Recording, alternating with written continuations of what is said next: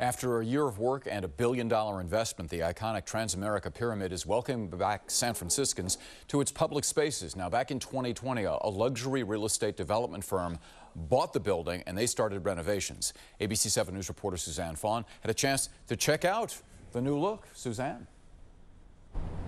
And Larry, it was great to see. Now, for decades, the Transamerica Pyramid has stood out in San Francisco's skyline because of its distinct design, and now the public will be able to see parts of the building in a way like never before.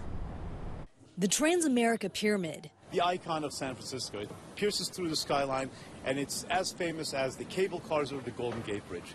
John Krizak can't believe that transformation. He says it's even better than before. Totally mind blowing experience.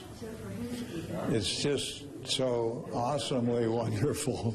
Krizak was the PR manager for the iconic building from 1968 to 1977. This is a very special place. The history of this site is so special. That history on display on a table in this conference room on the 27th floor.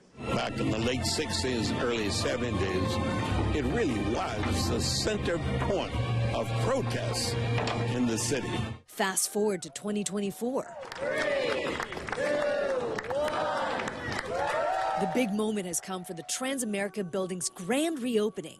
It's now part of the Transamerica Pyramid Center, a historic block that includes the pyramid plus two adjacent buildings. There's also the Transamerica Redwood Park, a renovated grand lobby, and conference spaces.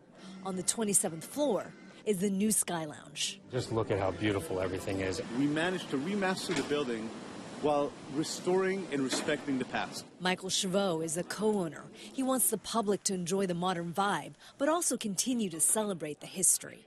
Today is the day that we open this place to the public for the people to come, to enjoy the art shows, the restaurants, the activities, or just come and have lunch at the Redwood Park. The park and the lobby of the pyramid will be open to the public. The ground floor will feature cafes, a bookstore, and a flower shop. People will see today that, that downtown is not just about work. It's about work, it's about play, and it's about just coming and re relaxing and enjoying.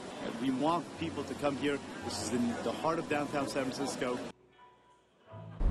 And tonight at 8.30, wherever you are in the city, keep a close eye out on the light show on the east side of the Transamerica Pyramid Building. Then starting Sunday, the Redwood Park will be open from dawn until dusk. Again, both the lobby and the park will be open to everyone to visit.